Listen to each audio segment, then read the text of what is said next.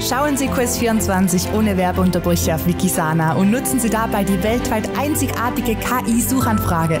Stellen Sie Ihre individuellen Gesundheitsfragen und profitieren Sie von exklusiven Sendungen. Herzlich willkommen, liebe Zuschauerinnen und Zuschauer, hier in unserem Format auf der Suche nach dem Sinn des Lebens. Und heute bin ich ein Fündiger geworden. Ich habe nämlich Bruder Niklaus Kuster gefunden, der ein Kapuziner ist, also ein Reformfranziskaner und ja, ich habe seine Biografie gelesen und gesehen, dass so was, was der alles erlebt und gesehen hat in seinem Leben, ist sehr beeindruckend. Und für mich ist es heute ein großes Ziel, ganz viel lernen zu dürfen von so einem weisen Menschen, der heute uns beehrt. Nach dem Intro legen wir los. Bleiben Sie dran. Ja, und da sind wir wieder und jetzt darf ich Ihnen meinen Gast auch zeigen. Da ist er, Bruder Niklaus Kuster. Ganz herzlich willkommen. Sehr gern. Jetzt fangen wir doch einfach mal an. Was heißt eigentlich Benediktmönch oder Benediktermönch? Was, woher kommt dieser Begriff? Also Benediktinermönch. Ah ja, ja, ja, Benediktiner, ja. genau. Der Ausdruck Mönch kommt von ähm, Asketen in der Wüste Ägyptens oder des ganzen Orients mit der Zeit, die sich äh, zurückgezogen haben und das eine gesucht haben. Das eine heißt griechisch Monos das eine, das Entscheidende. Mhm. Und der Monachos ist eben ein Mensch, der das Entscheidende sucht. Das eine, das war natürlich spirituell gesehen damals die Sehnsucht nach Gott.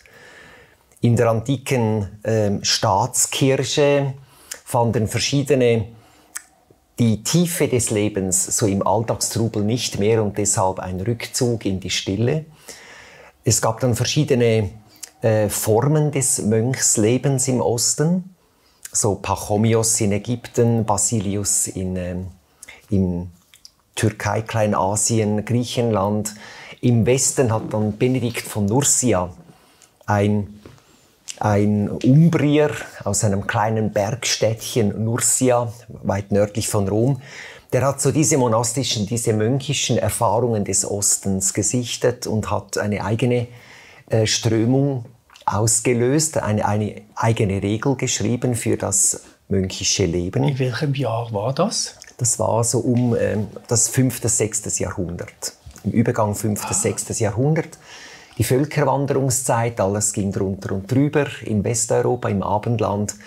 Und da hat Benedikt ähm, Gemeinschaften gegründet, östlich von Rom in einem stillen Tal. Später ist er dann nach Monte Cassino abgewandert, nach Süden gewandert, hat mehrere Gemeinschaften gegründet und hat ihnen eine Lebensordnung gegeben. Und von daher stammt der Benediktinerorden. Mhm. Das ist praktisch eine Synthese vieler verschiedener asketischer Erfahrungen im Gemeinschaftsleben. Mhm. Und diese Regel, die wurde so äh, ausgewogen, dass sie bis heute gilt.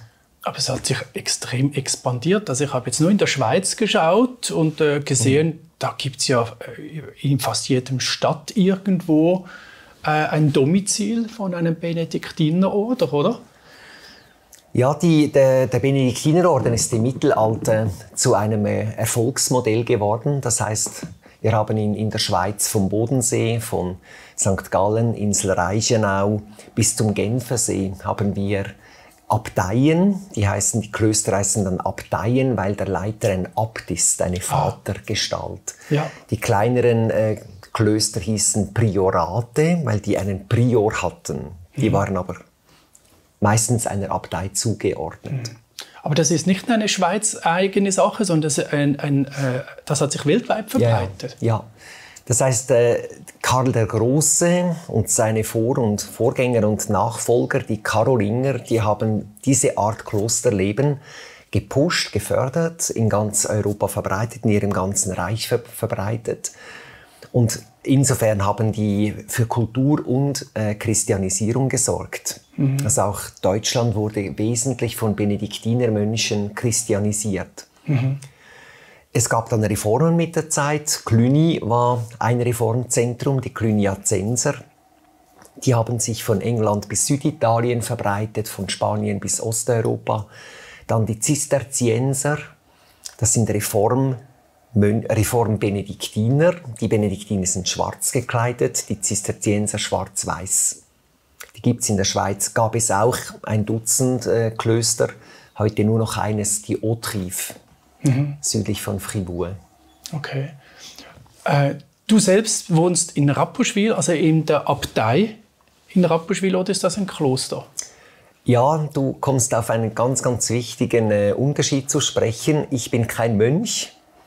Die Franziskaner, ich bin als Kapuziner ein Reformfranziskaner, wie du gesagt hast, und die Franziskaner sind keine Mönche, sondern Brüder. Im Volksmund spricht man zwar, zwar von Kapuzinermönch, Franziskanermönch. Man kenne ich, aber das, das Unterschied verstehe ich aber noch nicht. Kann ich dir gleich erklären.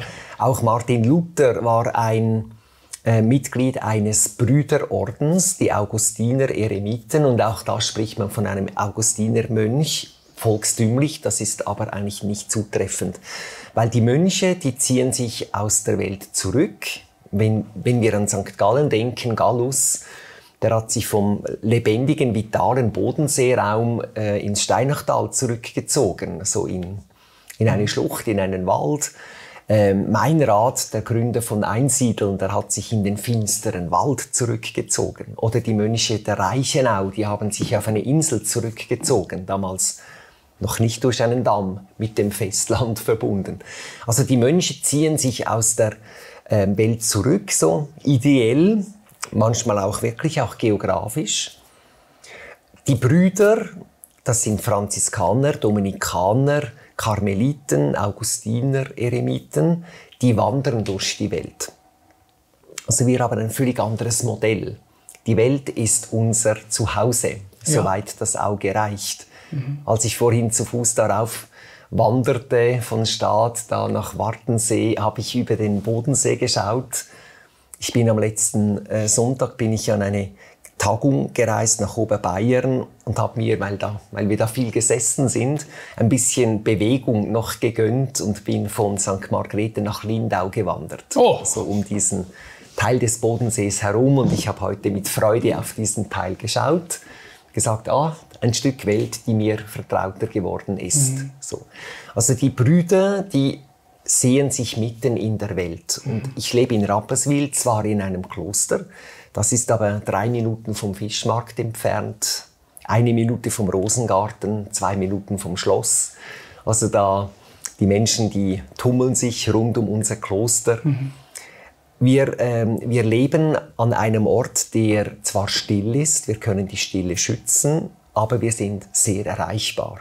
Mhm. Und da ist ja nicht der, den ganzen Tag haben wir Menschen in der Kirche, die Kerzen anzünden, Menschen, die äh, an der Pforte klingeln, die in die Cafeteria sitzen oder die mit jemandem von uns sprechen möchten. Mhm. Du hast jetzt gerade vorne noch äh, Franziskaner, Benediktiner, Augustiner oder sowas ja. erwähnt und noch zwei Order. Karmeliten. Die sind alle in ihrer Funktionsweise auch dem Volk zugewandt. Äh, aber woher sind diese Unterschiede? Ist da irgendwo ein Revolutionärer gewesen, der das äh, gegründet hat? Ja. Und so heißen sie dann auch? Ähm, die Geschichte bringt neue Lebensformen hervor.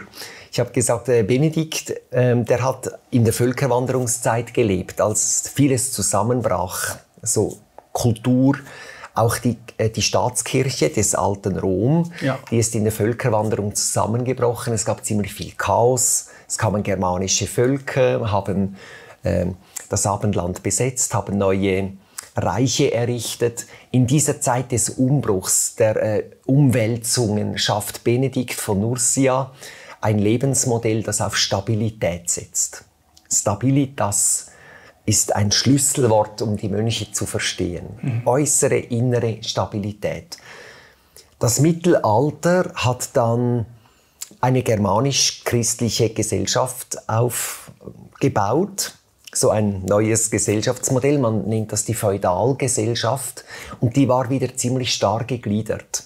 Adelige, ähm, religiöse, Klerus und Ordensleute, Mönche und Nonnen und Bauernstand. Mhm. Diese drei Stände Gesellschaft. Die einen arbeiten und ernähren alle, die anderen sorgen für Ordnung, das war der Adel wenn er denn nicht Unordnung gemacht hat mhm. und Kriege vom Zaun gerissen. Und äh, die Dritten, die sorgen für das Heil, die beten und die feiern Gottesdienst, spenden Sakramente. Das war so die mittelalterliche Feudalgesellschaft. In diese Gesellschaft hinein entstehen oder erwachen ab 1100 die Städte. Die Stadtkultur erwacht neu, nachdem sie in der Antike eben zusammengebrochen ist. Und in diese äh, neue Welt der Stadt, die voller Dynamik ist, Mobilität, Handel, äh, Gewerbe, Austausch, Bildung, also in diese neue Welt der Stadt braucht es auch eine neue Antwort von der Seite der Kirche. Mhm. Und diese neuen Orden, die sind eigentlich Frucht der Stadtkultur. Mhm. Franz von Assisi war ein Kaufmann, ein Kleinbürger in Assisi. Dominikus, der Gründer der Dominikaner, war ein Chorherr in Osma. Also der hat in einer Stadt gewirkt als Seelsorger, als sehr gebildeter Seelsorger. Und er hat dann gesehen, wir, äh, wir können nicht einfach warten, bis die Leute zu uns kommen. Wir müssen dorthin gehen, wo Menschen leben, wo die Menschen Fragen haben, wo sie suchen. Wir müssen in die Konflikte, uns in die Konflikte einschalten. Wir müssen Brücken bauen, wo die Gesellschaft auseinanderdriftet. Wir müssen das Evangelium in die Lebensrealität der Menschen bringen. Oh, super, super. Es hört sich so schön an. Und wie stehen dann diese Orte dann in, in, in, mit dem Katholismus, also aus dem Vatikan, äh, in Zusammenhang? Ja, das ist eine sehr, sehr gute Frage weil nämlich es gab schon im 12. Jahrhundert gab es dann Strömungen, eben die gesagt, genau gesagt haben, wir müssen das Evangelium leben und es in die Lebenswelt der Menschen tragen. Jesus hat seine äh, Freunde, seine Jünger ausgesandt zu zweit und hat gesagt, geht und bringt Frieden in die Häuser und die Städte. Mhm. Und das haben äh, im 12. Jahrhundert zuerst mal Priester ernst genommen und haben Wanderbewegungen gegründet. Die wurden dann aber von den Bischöfen oft wieder angesiedelt, lokal festgemacht, weil der Klerus äh, darf die Ordnung nicht sprengen. Und dann kamen Laien, die, dieses, ähm, die diese Mission aufgenommen haben. Und die wurden dann von der katholischen Kirche verfolgt weil die nicht Theologie studiert hatten, keinen Sendungsauftrag, die haben das Evangelium gelesen, übersetzt in die Volkssprache und, und unter die Leute getragen und gelebt. Ja, von Herz zu Herz. Und eine dieser Bewegungen, die größte, das waren die Waldenser. Und die wurden äh, in der Zeit, als Franziskus noch jung war, wurden die verurteilt und verfolgt mit einem Kreuzzug und dann aus der katholischen Kirche rausgemobbt. Die Franziskaner, die machen etwas ganz Ähnliches. Franziskus war Kaufmann, Modeexperte, nicht Theologe, nicht Priester. Und der wird vom Evangelium ergriffen und beginnt es zu leben. Es schließen sich Freunde an. Kein einziger war Theologe, kein einziger war Priester oder äh, beauftragter Seelsorge. Und dann hat aber Papst Innozenz III. erkannt, wir müssen diese Bewegung von Laien, die das Evangelium ernst nimmt und unter die Menschen bringt, dahin bringt, wo die Kirche nicht mehr, die Amtskirche nicht mehr hinkommt. Wir müssen die integrieren. Und dann wurden die Franziskaner eigentlich eine Art Waldenser, die in der katholischen Kirche Raum fanden. Mit ganz kleinen Unterschieden. Die Franziskaner haben die Amtskirche nie verbal kritisiert, sondern nur mit ihrem Leben mhm. herausgefordert, aber nie so eine wörtliche Kirchenkritik. Und das Zweite, bei den Franziskanern sind die Brüder durch die Welt gezogen und die Schwestern haben sesshaft gelebt. Die Schwestern haben nicht gepredigt. Bei den Waldensen war das ein bisschen zu kühn, kann man sagen, für die Zeit. Da sind Frauen mit Männern gemeinsam in die Städte, durch die Dörfer und haben das Evangelium verkündet. Das war um 1190 gesellschaftlich und kirchlich gesehen etwas zu fortschrittlich. Mhm. Mhm. Die Franziskaner haben, äh, haben dann aus Erfahrung klug gesagt, wir lassen die Schwestern sesshaft leben, wie Martha und Maria von Bethanien. Freundinnen Jesu, die ein offenes Haus hatten. Und die Brüder folgen dem Auftrag Jesu an die Jünger, geht in die Häuser, in die Städte, in die Dörfer, baut Brücken, äh, richtet Gebeugte auf, äh, befreit äh, Menschen aus ihren Zwängen, integriert Ausgeschlossene, also Brücken bauen, Friedensmission, das Evangelium erfahrbar machen. Mhm das, was in Lukas 10, mhm. in Matthäus 10, in der Jüngersendung steht. Das mhm. haben sie beherzt umgesetzt. Die Dominikaner, die sind zeitgleich entstanden, die waren aber von Anfang an ein Priesterorden. Also da war klar, die haben Studium, die brauchen Studium, Top-Ausbildung, Priesterweihe, qualifizierte Seelsorge. Die Franziskaner waren zunächst grö größt mehrheitlich Laien. Und Ist das haben, heute noch so? Ähm, wir haben heute drei Typen Franziskaner der Orden, also dieser Orden, den Franziskus gegründet hat, der hat sich mit der Zeit aufgespalten in städtische Franziskaner. Die hatten große Klöster, Bibliotheken, ähm, qualifizierte Seelsorge, ähnlich wie die Dominikaner. Und dann die ländlichen Franziskaner. Die haben die sind auch in die Städte, in die Dörfer, aber die haben gesagt, wir wollen eher außerhalb leben. Franziskus hat sich äh, nach seinem Bruch mit Assisi nie mehr in der Stadt angesiedelt. Der ist immer von außen gekommen, mit einem Außenblick. Dann gab es eine Polarisierung im Orden und 1517, nach vielen Einigungsversuchen, hat Papst Leo X. den Franziskanerorden in zwei verschiedene Zweige getrennt. Die städtischen haben sich dann schwarz gekleidet und die ländlichen braun. Mhm. Und die Kapuziner, die sind eine Reform der Reform, eine Reform der braunen Franziskaner, der ländlichen. Mhm. Und wir sind 1525 entstanden, so man ähm, kann sagen, die radikalsten Reformer. Denen war so diese, dieser Kompromiss äh, der braunen Franziskaner, das war ihnen zu wenig und sie haben sich zu einer radikalen Wandermission entschieden, ohne Klöster, nur Eremitagen und Wandermission. Und wir haben unsere, unseren Namen von der, vom auffälligen Ordenskleid. Wir haben etwas äh, größere Kapuzen als die Franziskaner. Also wir können ah, die Kapuze okay. über den Kopf ziehen und die ja. schützt dann auch tatsächlich, wenn es regnet, ja. die Brille. Wieso bist du heute nicht in Braun gekleidet hier?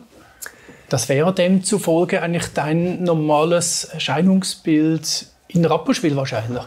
Ähm, also ich trage jetzt die, das Ordensgewand meistens zum Gebet. Ah, mhm. äh, meistens zum, Ge zum Gebet und je nach Arbeit, je nach Einsatz, den ich habe. Mhm. Wenn ich an der Uni Luzern unterrichte, dann bin ich so. Mhm. Also je nachdem, wie mich, was mich erwartet und wie mich Menschen sehen möchten. Wenn jemand sagt, ich möchte ich möchte dich als, äh, Fra als Frater, so als, als Ordensmann äh, erleben und wir möchten dich so sehen, dann ziehe ich mhm. das Ordenskleid an, kein Problem. Aber äh, man sagt ja, die Kutte macht nicht den Mönch, das gilt auch für uns. Also die mhm. Kutte macht nicht den Franziskaner. Du hast eine, eine, ein Thema angeschnitten, aber das möchte ich den Zuschauern gleich sagen. Da mache ich eine separate Sendung dazu. Du hast nämlich den Bruch von Franziskus mit Franz von Assisi angesprochen. Ähm, stimmt, oder? Da möchte ich eine eigenständige Sendung machen. Mhm. Äh, weil ich denke, da müssen wir ganz tief reingehen in diesen Franz von Assisi und das sollte eine ganze Sendung sein. Ähm, jetzt aber die Benediktiner, wo du dazu gehörst. Mhm.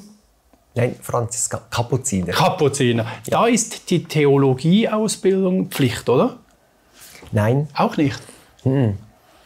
Das heißt, wenn jemand, also wer, wer sich uns anschließt, hat normalerweise die Matura oder eine Berufsausbildung. Mhm. Als ich eingetreten bin, waren wir zu sechs und von diesen sechs hatten zwei die Matura und vier nicht.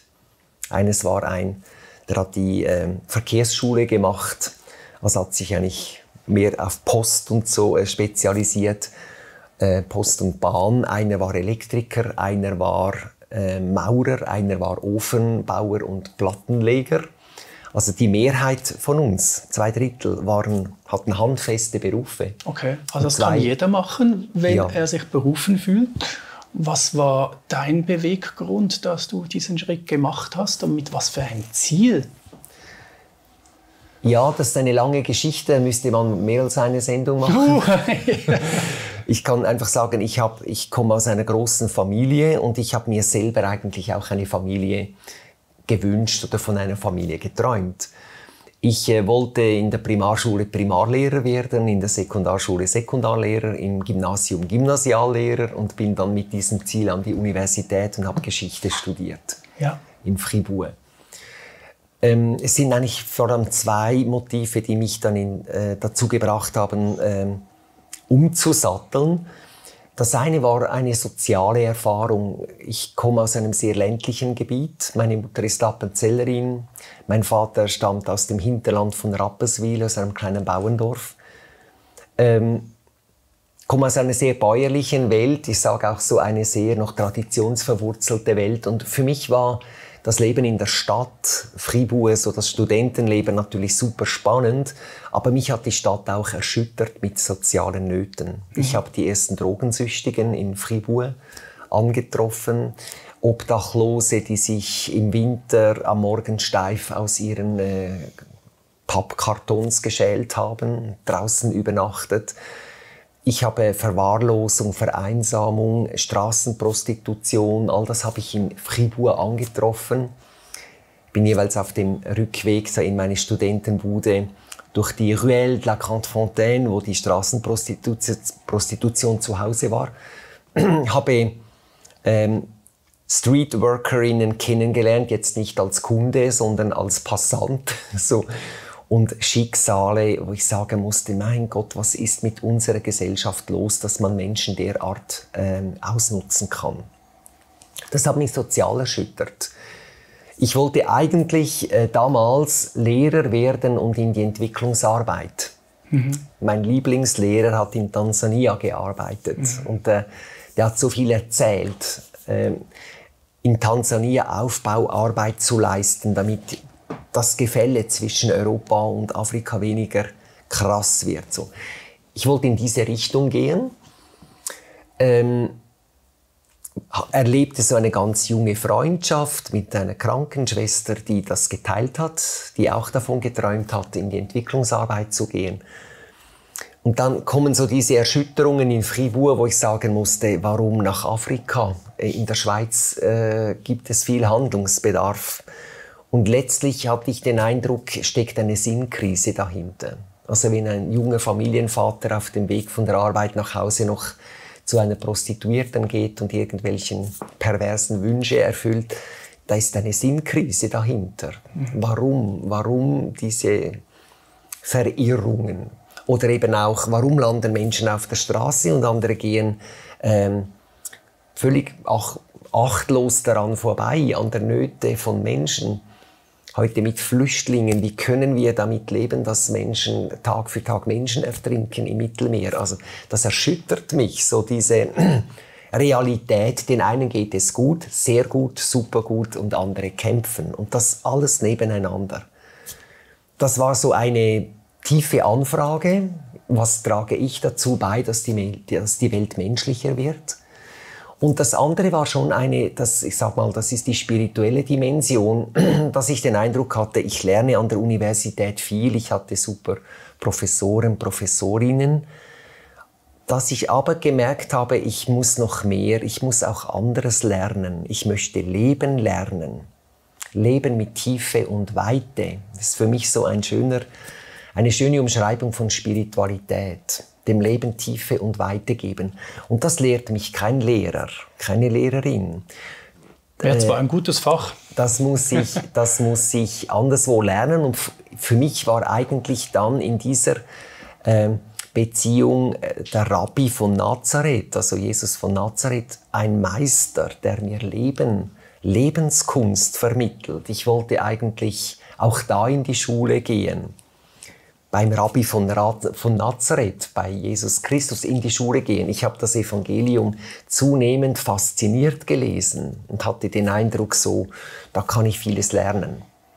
Und das beides hat dazu geführt, dass ich in eine solche Unruhe kam innerlich und auch in eine solche Sehnsucht, dass ich gesagt habe, ja, ich, ich möchte die Schule wechseln. Ich möchte in die Lebensschule des Evangeliums gehen. Und da ist mir Franz von Assisi sehr nahe gekommen durch das Studium, das Geschichtsstudium. Ich hatte den Eindruck, der hat damals Antwort gefunden auf die Fragen, die ich heute habe. Beeindruckend. Wie bringe ich Tiefe in mein Leben? Mhm. Wie bringe ich Weite in mein Leben? Mhm. Das ist das äh, Zeichen von Franziskus, das Tau. Und das steht eigentlich dafür, Tiefe und Weite. Je Je tiefer meine Wurzeln sind, desto weiter kann ich mich engagieren. Mhm. Oder je engagierter ich in der Welt bin, desto mehr muss ich auch den Wurzeln Sorge tragen. Mhm. Wachsen in die Tiefe und in die Weite. Und dann habe ich mich umgeschaut. Ich habe die Franziskaner näher angeschaut. Die schwarzen Franziskaner, die heißen in Fribourg Cordelier. Die braunen Franziskaner und die Kapuziner kannte ich schon von Appenzell her. Da bin ich in die Mittelschule gegangen, habe das, die Matura gemacht in Appenzell. Die Kapuziner waren mir durchaus sympathisch als Lehrer, als Schulleiter, aber ich habe sie als sehr, ähm, ich sag mal, sehr normale Menschen erlebt. Schon einige sehr eindrücklich von ihrem Lebensstil her, andere waren etwas äh, verhaltensoriginell, die fand ich so ein bisschen schwierig. So. Es gibt äh, beeindruckende Menschen, es gibt immer auch ernüchternde und ich hatte eine von den Kapuzinern, ich sag, da mal, ich sag mal, ein zu realistisches Bild, um in meinem Idealismus direkt bei den Kapuzinern anzudocken. Mhm. Erst als ich dann mal Franz von Assisi äh, kannte, den Gründer dieser Bewegung und dann die Franziskaner und die Kapuziner verglichen habe, da habe ich gemerkt, so, hm, die Kapuziner, die entsprechen mir doch am besten. Mhm. Was ist deine Aufgabe eigentlich oder welche Menschen können sich eigentlich also zu dir kommen? Du sagst, du bist ein Mann des Volkes, du ziehst dich nicht zurück, du gehst zum Volk. Das Volk hat Suchtiefe und Suchbreite. Mhm. Äh, kann man einfach zum Beispiel in St. Gallen zu dir kommen oder einen Termin machen oder ähm, ja, ich bin 50 Prozent meiner Zeit bin ich unterwegs. Das heißt, ich lasse mich ähm, an verschiedenste Orte rufen, mhm. wo Menschen sagen, wir brauchen etwas von dir. Ah. Ich hatte letzte Woche zum Beispiel einen Abendvortrag, da ging es um den Umgang mit der äh, Israel-Gaza-Krise. Wie gehen wir, ich war in einem ökumenischen Forum, wie gehen wir mit dieser Katastrophe um, dass da im heiligen Land Söhne und Töchter Abrahams verschiedener Religion äh, aufeinander losgehen und einander umbringen und eigentlich die halbe Welt äh, in eine Krise zu stürzen drohen. Da war von mir her jetzt einerseits geschichtlich etwas, äh, wurde erwartet. Das Thema waren heilige Kriege. Warum kommt es zu heiligen Kriegen? Zur Idee, dass es heilige Kriege gibt. Ich habe dazu eigentlich, ich war dazu eingeladen aber natürlich im Kontext jetzt der äh, Aktualität ging dann die Diskussion sehr stark äh, darum, wie gehen wir mit solchen Krisen, mit solchen schrecklichen Entwicklungen um. Das ist das, die eine, ich unterrichte an der Uni Luzern Spiritualitätsgeschichte, ich unterrichte an Ordenshochschulen in Madrid und Münster, da gehe ich hin oder ich werde ich werde von, von Gruppen, von Teams eingeladen zu Intensivtagen, Weekends, Kursen, wo es um äh, Spiritualität geht, auch um Team-Spiritualität. Da gehe ich einfach hin, so wie ich heute hierher gekommen bin. Ich komme und schaue, was mich erwartet und hm. lasse mich darauf ein. Das ist so immer noch, ich sag mal, die Wanderdimension der Franziskaner. Man zieht durch die Welt, schaut, was einem erwartet und äh, bringt sich ein. Die anderen 50 Prozent lebe ich im Kloster Rapperswil und das ist ein Kloster zum Mitleben. Mhm. Das heißt, wir sind äh, sechs, im, bald einmal sieben Brüder und eine äh, Pfarrerin, eine reformierte Pfarrerin. Wir sind ökumenisch zusammengesetzt und wir lassen Menschen mitleben. Wir laden Menschen ein, ähm, eine Intensivwoche, eine stille Woche mit uns zu verbringen, ein Timeout oder wie auch immer man das nennt, ein Retiro, ein, eine Auszeit. Äh, und Kloster zum Mitleben heißt wirklich, dass wir nicht einfach nur ein Zimmer geben und sagen, äh, nutze die Zeit, sondern wir integrieren mitlebende Gäste mhm. in unser Meditieren, in unser Beten, Tischgemeinschaft, Arbeitsgemeinschaft, am Vormittag auch anderthalb Stunden Arbeit, sonst haben die Mitlebenden sehr, sehr viel Freiraum auch. Mhm. Aber ich glaube, das bringt denen so viel. Wenn man wirklich in einer Situation drin ist, wo man eine Auszeit braucht und ja. dann wirklich so in eine liebevolle Gemeinschaft aufgenommen wird, das ist der Balsam für die Seele und gibt Kraft. Und das äh, Gute natürlich sind, das sagen Mitleben ja auch immer wieder, das sind die Rhythmen. Also eine, eine Woche Freiraum, ich könnte auch in eine Alphütte gehen und mir mhm. eine Woche Freiraum gönnen. Aber diese tragenden Rhythmen, dass man am Morgen, am Mittag, am Abend und an der Schwelle zur Nacht eine meditative Zeit hat, eine Gebetszeit mhm. mit sehr viel Stille, sorgsam gestaltet. Ähm, dann Tischgemeinschaft, dann gibt es auch Gefäße, ähm, die es ermöglichen, äh, Fragen, Lebens- und Glaubensfragen auszutauschen, sich über das auszutauschen, was mich beschäftigt. Das sind lauter, sage jetzt mal, Elemente so im Wochenprogramm, die eben so eine Auszeit sehr fruchtbar machen. Mhm. Mein äh, Patenneffe, 19, Gymnasiast, Agnostiker, der hat vor einem Jahr äh, hat, hat er sich eine Woche in Rapperswil gegönnt und der war total begeistert von, von der Gemeinschaftserfahrung und von den Meditationszeiten, dass man viermal am Tag ganz, ganz still wird und äh, in die eigene Mitte hört oder eben auch die Mitte wahrnimmt, die alle verbindet. Mhm. Für mich ist das klar, ich bin bei euch alle Tage ich bin mitten unter euch, ist eine Zusage Jesu. Für meinen äh, Patenneffen war natürlich als Agnostiker war die Mitte ein Geheimnis. Und das hat Platz. Man muss nicht religiös sein, um nach Rapperswil zu kommen. Mhm. Es reicht eigentlich zu sagen, ich möchte meinem Leben eben Tiefe und Weite geben, auf welchem Weg auch immer. Und wir begleiten Menschen darin. Also es gibt so diese beiden Bewegungen. Die eine ist, gehe hin, ich lasse mich hinrufen, wo Menschen irgendwas von mir erwarten, sei es geschichtlich, sei es spirituell, sei es menschlich, sei es seelsorgerlich, sei es kulturell. Es gibt aber eben auch die andere Bewegung, komm her. Wir sind da, wir teilen unseren Lebensraum, wir teilen unsere Zeit, unsere Erfahrungen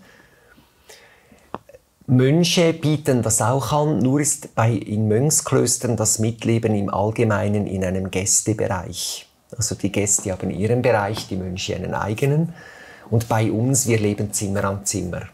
Wir haben dieselben Etagenduschen und so. Also es gibt da, es gibt da sehr viel äh, Gemeinsamkeit, sehr viel mhm. gemeinsames Leben. Das ist genau das, was du schon anfangs gesagt hast, auf Augenhöhe fürs Volk da zu sein. Mhm.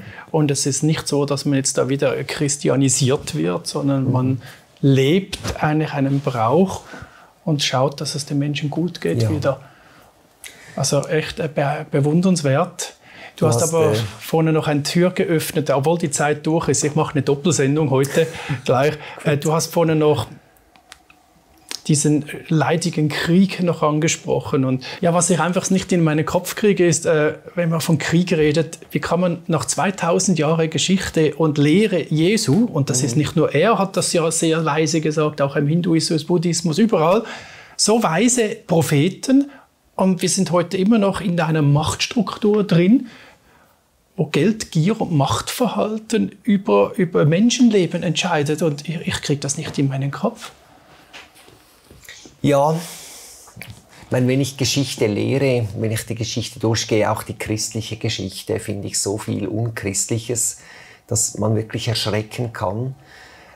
Für mich ist es schon, was Jesus mal gesagt hat, ihr könnt nicht Gott dienen und dem Mammon. Mhm. Es gibt kein, keine Verbindung. Also wenn ich Du hast, du hast Gier angesprochen, also Gier, Macht, Gier, äh, Besitz, Gier und so weiter. Also wenn Gier den Menschen leitet, dann kommt es, äh, es kommt nie gut, wenn das mit Religion verbunden wird. Und diese Allianz von Religion und Politik oder Religion und Wirtschaft, Religion und Macht, die ist immer unheils, unheilvoll. Für mich ist tatsächlich Deshalb die Erinnerung umso wichtiger. Äh, Jesus von Nazareth, der hat Gewaltlosigkeit gelebt, Feindesliebe gelebt und gepredigt und wurde von seinen Gegnern aus dem Weg geräumt und hat noch am Kreuz für seine Gegner gebetet. Das ist eine derart radikale Botschaft der Gewaltlosigkeit und der Feindesliebe, dass es für mich wirklich nicht nachvollziehbar ist, wie konnte, äh, wie konnte eine Kirche, wie konnten Kirchen, verschiedene Kirchen immer wieder auf Militanz setzen und ihre Interessen mit Macht und mit Gewalt durchsetzen. Das ist eine Perversion. Franz von Assisi hat das damals erkannt ähm, und hat, hat auch radikal auf Gewaltlosigkeit gesetzt. Als der Papst zum fünften Kreuzzug aufrief, hat er das unterlaufen, ist nach Ägypten gereist und hat zuerst versucht, die Kreuzritter vom Kampf abzuhalten mit der Botschaft, dass es keine Gewalt im Namen Gottes gibt. Man darf sich bei Gewalt nie auf Gott berufen. Er wurde ausgelacht im christlichen Lager und ist dann, und das war dann revolutionär, über die Front gegangen ins Lager des Sultans, der Muslime, von denen er wahrscheinlich nur Schlechtes gehört hatte vorher in den Kreuzzugspredigten. Ja, wie er doch auch heute noch. Ja? Wo man da von äh, Ungläubigen spricht, von Bestien. Also man, damals hat man von Bestien gesprochen, von Teufelssöhnen und so weiter. Man hat den Sultan zum Teufelssohn erklärt. Und Franz geht über die, über die Frontlinie und hat offene Augen, offene Ohren und entdeckt eine Menschenliebe und eine Gottesfreundschaft in der anderen Religion, die ihn beschämt haben. Er hat gesagt, unglaublich, so viel Gottesfreundschaft, so viel Humanität. Und daraus ist eine Freundschaft entstanden zu Sultan Muhammad al-Kamil, dem Oberherrscher des Islams im Orient. Und äh, Franziskus kehrt zurück nach, nach Italien und lernt von der Spiritualität der Muslime. Franziskus ist Franz von Assisi. Jawohl. Ah. Genau, das, also im, er selber schreibt sich Franziskus, das Französchen, das war sein Kosename. Und Franz von Assisi ist so unsere Abkürzung. Mhm. Also Franz ist so die deutsche Kurzform Gut. von Franziskus. Er kommt zurück und äh, er, er schreibt Briefe an die Menschheit. Etwas um Geheuerliches für damalige Vorstellungen. Briefe an alle Menschen auf Erden, wo auch immer sie sind.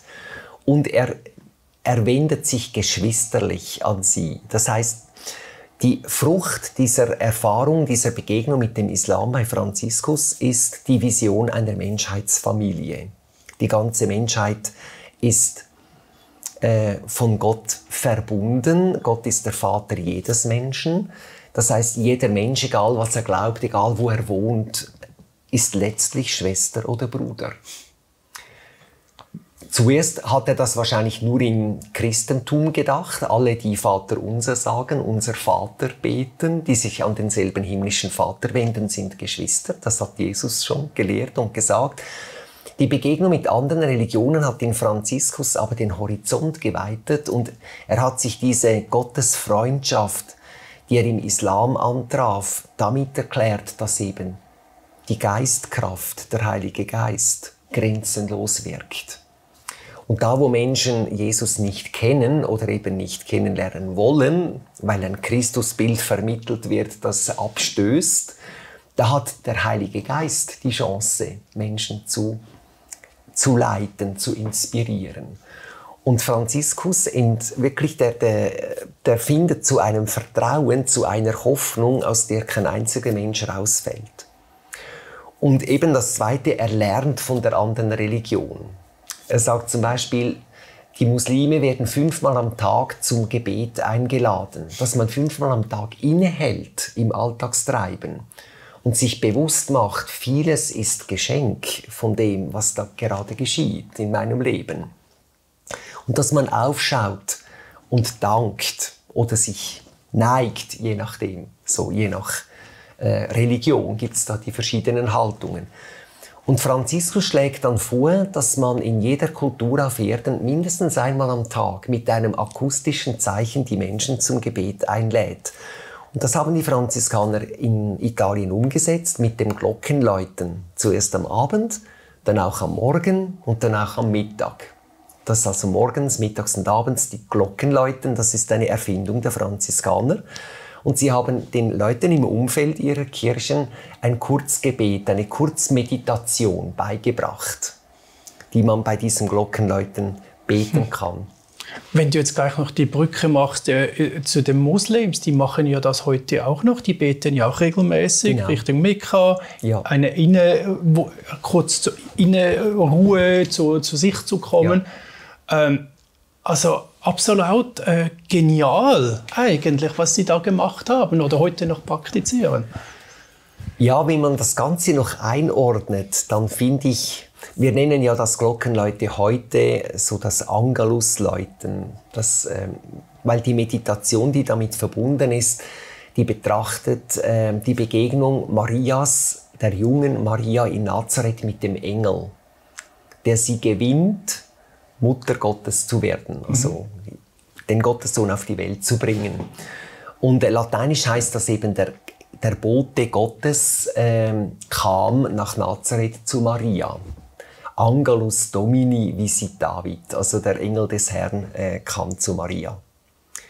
Oder ähm, der Engel des Herrn brachte Maria die Botschaft Gottes, so ist der genaue Text. Dieses Angelusläuten hat eben Franziskus letztlich äh, angeregt, die Franziskaner haben es entwickelt Franziskus hat sich von Mohammed oder vom Islam anre anregen lassen, von diesem Gebetsruf des Muezzins, von diesem täglichen Pflichtgebet. Salat heißt das arabisch. Mhm. Muhammad wiederum, der hat seine Idee, wie, wie, also woher kommt die Idee, dass man fünfmal am Tag beten soll? Muhammad hat diese Idee, ich sage jetzt mal ganz irdisch, auch er ist inspiriert. Es gibt Muslime sagen, äh, der Engel Gabriel hat ihm alles Wichtige äh, nahegelegt, aber es gibt eben auch irdische Anregungen und die ganz irdische, äh, das irdische Vorbild sind syrische Klöster. Das hat er, die hat er als Karawanenführer äh, erlebt, kennengelernt und in syrischen Klöstern leben lebten damals die Mönche in Zellen, in Höhlen und siebenmal am Tag hat ein Mönch mit akustischen Zeichen zum Gemeinschaftsgebet gerufen. Da kamen die Mönche aus ihren Zellen, aus ihren Höhlen ins, in den Gebetsraum, ins Oratorium und haben gemeinsam gebetet. Siebenmal am Tag und einmal in der Nacht. Mohammed hat sich gesagt, das ist nicht nur für die Profis, für die Gottesmänner in der Wüste, das ist für alle Gläubigen. Aber siebenmal ist etwas viel, machen wir fünfmal. Die Franziskaner haben dann gesagt, fünfmal ist ein bisschen viel, machen wir dreimal. Woher kommen die syrischen Klöster auf die Idee, siebenmal am Tag zu beten? Es gibt ein Vorbild. Ähm, in der Antike, in der frühen Kirche, haben die christlichen Gemeinden fünfmal am Tag gebetet wenn die Sonne aufging, wenn sie ganz oben stand, wenn sie unterging und vor den beiden Hauptmahlzeiten mhm. fünfmal. Mohammed, die Klöster haben gesagt, fünfmal reicht nicht. Wenn man natürlich Familie, Beruf und alles hat, dann ist fünfmal schon eine Herausforderung. Aber in der Wüste haben sie gesagt, wir beten siebenmal, weil das eine heilige Zahl ist und weil in den Psalmen Psalm 119 steht, siebenmal am Tag erhebe ich meine Seele zu dir, äh, meine Hände zu dir oder ja, meine Seele zu dir. Und im Psalm 42 steht, mitten in der Nacht rufe ich zum Gott meines Lebens. Also eine jüdische Gebetspraxis. Einmal in der Nacht, siebenmal am Tag. Jüdisch. Mhm. Im, in der Heiligen Schrift äh, kann man das nachlesen. Die frühen Christen haben gesagt, sieben ist viel, wir machen fünf. Die Klöster sind wieder auf sieben zurück. Mohammed ist wieder auf fünf zurück, weil das so mitten im Leben doch schon ziemlich herausfordernd ist, mitten im Treiben der Welt. Die Franziskaner sind auf drei gegangen, weil sie gesagt haben, ja, für Menschen mit Beruf und Familie ist dreimal schon eine Herausforderung. Also wenn man die ganze Geschichte anschaut, ist das ein jüdisch, christlich, klösterlich, islamisch, franziskanische, ähm, ein Lernprozess. Man hat einander inspiriert, man hat sich anregen lassen. Jetzt war ja mal die Frage, wie kommt es zu Kriegen? Das Angelusgebet, dieses dreimal täglich Beten, das ja eine Frucht der Begegnung von Franz von Assisi mit dem Islam ist, Das wurde 1571 zum, in allen katholischen Kirchen eingeführt und verordnet durch den Papst. 1571 ist ein verdächtiges Datum. Der Seesieg der christlichen Flotte über die osmanische Flotte in Lepanto. Also da wurde die Seemacht des Islam von einer katholischen Flotte vernichtet. Und als Triumphzeichen für diesen Sieg wurde das Angelusgebet in allen Kirchen eingeführt. Da sieht man die Dynamik, etwas, was eigentlich aus, einem, eine, aus einer zutiefst gewaltlosen, friedlichen Begegnung, der Offenheit für das Gegenüber, für den anderen entstanden ist. So diese Gebetstradition, die wurde zu einem Triumphzeichen für katholische ähm, Macht, für einen Sieg, für die Vernichtung des anderen. Also ich habe vorhin mal von Perversion gesprochen. Man kann das Evangelium, man kann auch Spiritualität, Religion pervertieren hm. und zum Instrument für Macht hm. machen. Ich höre es immer wieder, wenn da irgendwie mal wieder ein amerikanischer Präsident sagt, äh, Gott steht hinter uns, wir müssen jetzt in den Krieg gehen, dann macht er doch, geht mir gerade der Hals zu. Dann, oh, wie kannst du nur sowas sagen, oder? Oder wir machen einen Friedenskrieg. Also ich meine, es auch diese Perversionen an Formulierungen. Ja. Und trotzdem äh, frage ich mich immer wieder, wann gibt es mal eine, äh, eine, eine, eine Religion der Menschlichkeit, wo eigentlich das, die christlichen Lehren, oder auch buddhistische, hinduistische, äh, muslimische Sichtweisen einfach nur gelebt werden mhm. als, als Ziel des Lebens. Ja, ich persönlich glaube tatsächlich, dass letztlich sind es die Mystikerinnen, die Mystiker, die die Spur weisen. Das heißt Menschen, die äh, Gottes Erfahrungen machen. Es sind nicht unbedingt die Glaubenswächter, die äh, zu einer friedlichen Religiosität beitragen, mhm. sondern die Gottesfreundinnen, die Gottesfreunde, die Gotteserfahrenen. Hm. Aber die Zeit ist sowas von reif. Wenn jetzt einer aufsteht und sagt, wir vereinigen uns unter uns Gemeinschaften, weil wir eigentlich im Essenz das Gleiche glauben und denken und mhm. tun's.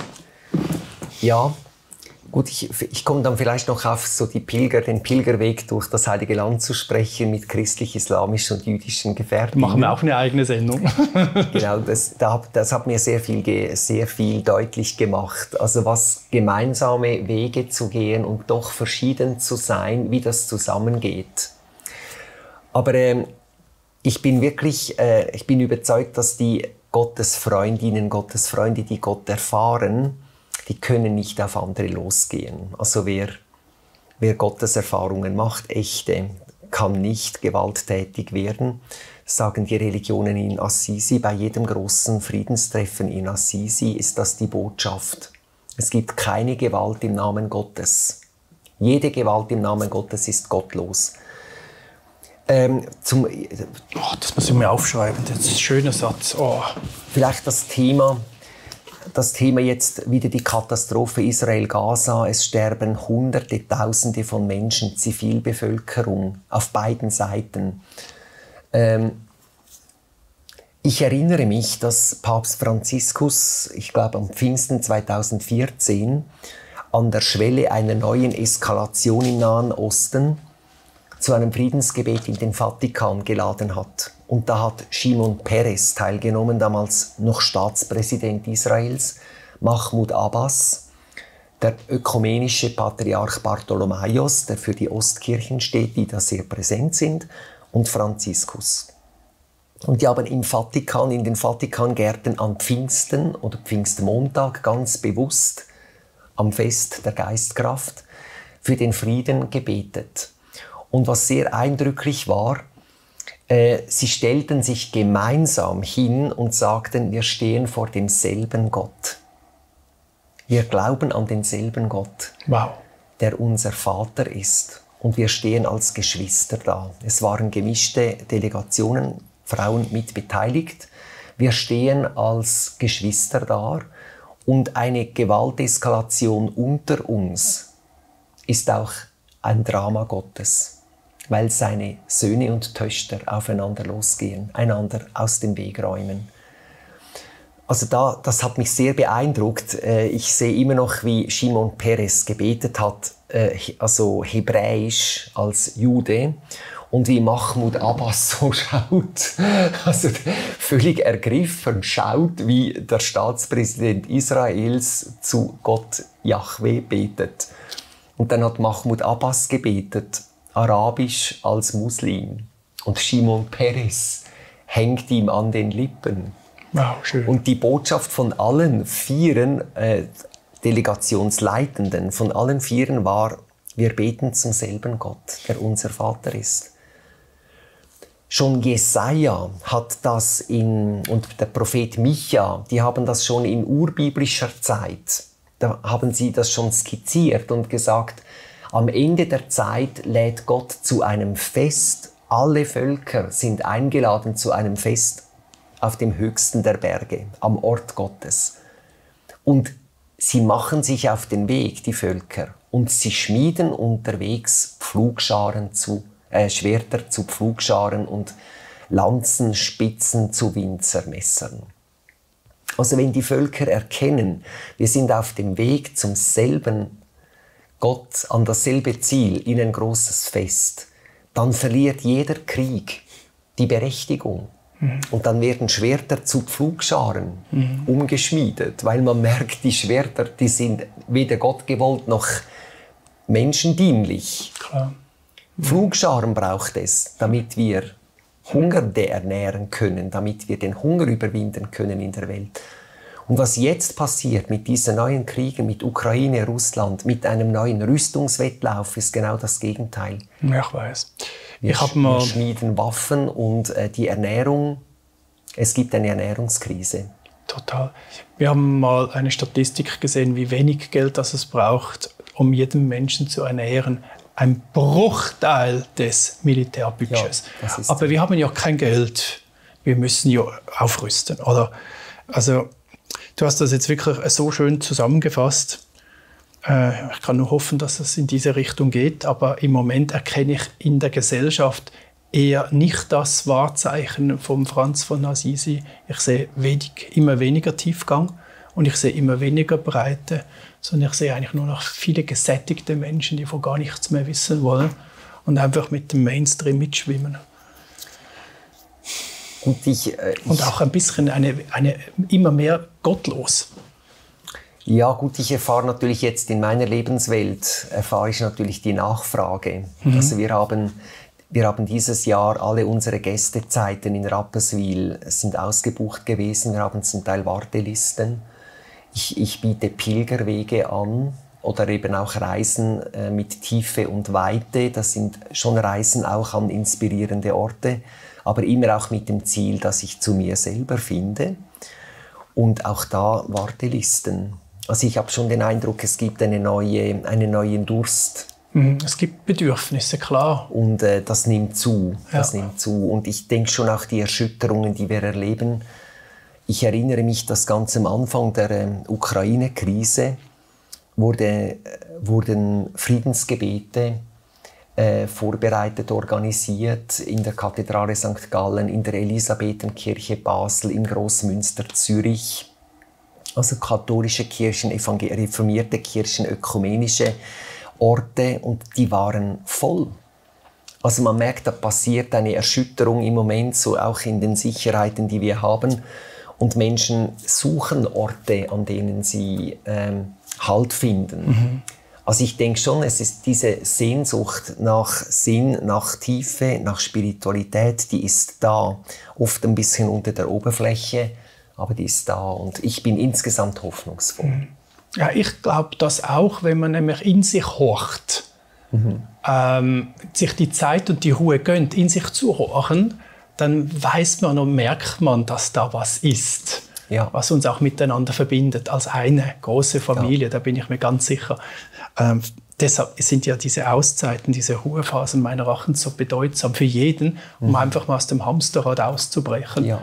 Und vielleicht ist auch immer diese noch mehr und noch mehr Leistungsverhalten der Gesellschaft auch konträr ja. zu einer tiefen und breiten spirituellen mhm. Entwicklung. Also Auszeiten ist das eine und ich finde die andere, die andere Form sind Pilgerwege. Darüber das möchte ich mit Ihnen eine Sendung machen. Ich habe nämlich fast keine Ahnung, was das darunter alles gemeint ist. Lass uns das mal bitte thematisieren, ja, weil wir haben jetzt eine Doppelsendung gemacht, 55 Minuten und es war mega spannend und ich möchte einfach schon mal für die erste Sendung ganz herzlich Danke sagen. Ähm, du hast so viel Verwirrung in meinem Kopf wieder in Ordnung gebracht, in eine Ordnungsstruktur, denn viele solche Dinge haben wir keine Ahnung. Mhm. Wirklich. Äh, ich bin äh, reformiert aufgewachsen, habe aber wirklich über, über Geschichte und über Religion und Entwicklung null Ahnung. Eigentlich habe ich nur Vorurteile gegen alles andere. Ja, gut. Seit der Hussein Heibat, der Sufismus-Schüler nennt er sich immer bei mir gewesen ist, habe ich eine große Achtung vor jedem Moslem, also vor dem Koran, muss ich auch sagen. Alles, was ich da gehört habe von ihm, wow! Mhm. Und stelle einfach wieder fest, wie, wie wir alle manipuliert werden. Eines, eines ist gut, das andere ist schlecht. Und jeder, der einen anderen Glaube hat, ist ein Terrorist und bla bla bla hin. Und das, das, das, das irgendwie also ich, lässt das Spuren. Ich kenne Hussein Haibat, ist ein guter Freund von mir. Wir haben gemeinsame Freunde. Ja. Ich, ich denke, Krishma Premarupa, das hat uns ver, vernetzt und verbunden. Genau. Äh, es ist schon so in jeder Religion. Es gibt Menschen, äh, mein Hussein ist ein, das ist ein mystischer Mensch, ein Gottesfreund. Es gibt in jeder Religion Menschen, die, ähm, die aus einer Gotteserfahrung heraus auch heilige Schriften lesen. Und es gibt in jeder Religion gibt es Fundamentalisten, Fundamentalistinnen, die das Gegenteil tun, die das eigentlich die heilige Schrift für eigene Zwecke und für eine sehr, ich sag mal, sehr exklusive Sicht der Religion verwenden. Die einen sind Brückenbauer und die anderen sind Fanatiker. Mhm. Es gibt es in jeder Religion und die Frage ist halt ein bisschen, welche Kräfte setzen sich durch? Welche Strömungen setzen sich durch? So ist es.